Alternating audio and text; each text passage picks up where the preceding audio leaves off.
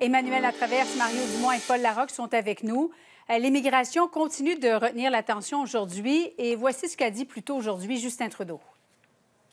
On est en train de regarder comment on peut accélérer euh, la certification de travailleurs et d'amener des gens qui vont pouvoir euh, se mettre au boulot tout de suite pour bâtir des maisons pour la communauté. Alors, Emmanuel, les immigrants, selon M. Trudeau, font partie de la solution.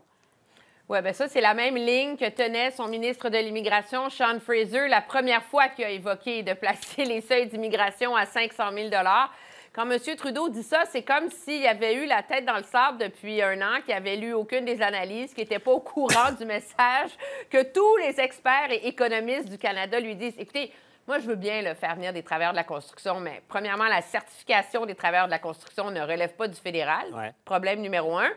Mais numéro deux, pour construire assez de maisons l'an prochain pour régler la pénurie de main-d'œuvre avec les seuils d'immigration qu'on a actuellement, il faudrait en construire 700 000 logements. Par année. On en a construit 240 quelques mille l'an dernier. Est-ce qu'il y a quelqu'un sur Terre qui s'imagine qu'on est capable d'atteindre ce hmm. rythme de construction-là. Paul? Oui, c'est une logique euh, incroyable. Il, faudrait faire venir des, immigrants en construction pour construire des maisons pour ceux qui vont construire des constructions. Ça, devient compliqué euh, à la longue. Ce qui nous ramène au, problème de fond euh, à l'heure actuelle, c'est la capacité d'accueil. Le, débat est là maintenant.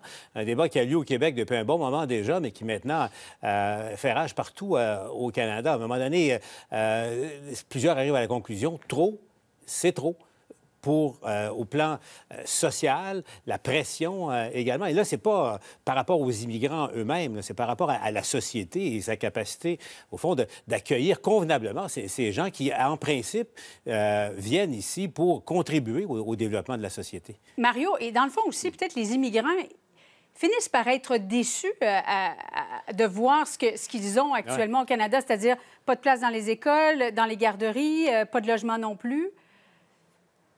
Ben, ça nous ramène un peu au slogan qui était quand même fort réussi de la CAQ il y a, cinq ans. Là. En mm. prendre moins puis en prendre soin. C'était un bon slogan puis ça avait de l'allure.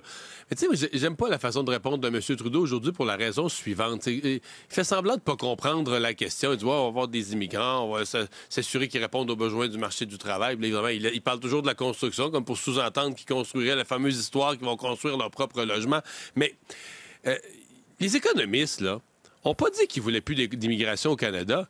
Ils continuent de dire que le Canada a besoin, c'est une société vieillissante qui a besoin d'un apport d'immigration, une immigration bien choisie, sous contrôle, euh, des seuils normaux, euh, je sais pas moi, dans les, ce qu'on avait il y a quelques années à peine, dans les 300 000, tu sais, 300 400 ce dont, les économistes parlent, c'est de la perte de contrôle des dernières années. C'est du fait qu'on accueille plus d'un million et quelque chose par année, puis qu'on sait même plus le chiffre, parce que les portes sont tellement ouvertes, ça entre illégalement, des gens qui viennent comme touristes et qui restent, des travailleurs étrangers, on ne sait plus s'ils partent, des étudiants étrangers, on ne sait plus s'ils restent ou ils partent. C'est cette perte de contrôle qui est au cœur de la discussion et pas le fait que le Canada, comme le Québec, soit des pays, des endroits où on accueille de l'immigration, on en a besoin, on doit bien les mm. accueillir. Alors, c'est comme si M. Trudeau fait semblant de ne pas comprendre la question. Il fait semblant de ne pas comprendre que ce dont on parle, là, c'est de la perte de contrôle. C'est des seuils des deux dernières années qui sont complètement hors normes, même à l'échelle mondiale. on ne peut pas dissocier complètement l'immigration, crise du logement et le manque de logement, ça risque d'occuper une grande place dans l'actualité en 2024. Le Parti québécois en fait déjà son cheval de bataille. Écoutez bien. Pour la première fois de notre histoire récente, il y aurait une génération qui étudie, qui travaille et qui, au final, se fait dire Vous, vous ne serez jamais propriétaire. Pendant que vos parents, grands-parents, eux, non seulement sont propriétaires, mais s'enrichissent parce que la valeur des propriétés augmente de beaucoup. Emmanuel, M. Saint-Pierre Plamondon s'adresse directement aux jeunes. Est-ce que c'est une stratégie politique? Bien, c'est une bonne stratégie euh, politique. La réalité, c'est que lui, il s'est levé hier matin en voyant les études de la Banque nationale, puis, je veux dire, il s'est mis à genoux, puis il a remercié le ciel. Euh, parce que, essentiellement, la Banque nationale a repris le discours que lui-même tenait au mois de novembre dernier, quand il faisait valoir qu'une immigration hors contrôle, ça amenait une crise du logement, qu'elle ait créé une crise objectivement sociale, parce qu'il y a une fracture entre les générations. Là. On est mm. vraiment confronté à une nouvelle génération de jeunes adultes qui ne risquent de n'avoir jamais accès à la propriété. Puis l'accès à la propriété, c'est pas seulement l'idée d'avoir euh, une piscine hors terre euh, dans ta banlieue euh, nord de Montréal. là. Ouais. La réalité, c'est qu'à cause de comment l'économie est faite au Canada, l'accès à la propriété, c'est le bas de laine pour pouvoir assurer une retraite qui a de l'allure. là. Alors, c'est très grave comme phénomène. Moi, je pense que M. Plamondon euh, l'aborde de manière très euh, efficace. Mais si je peux me permettre pour faire la boucle, là, ça fait trois jours qu'on parle, là, il y a trop d'immigration, ça va pas bien, Mm. le piège démographique. Mais il faut comprendre que la solution n'est pas plus simple. là.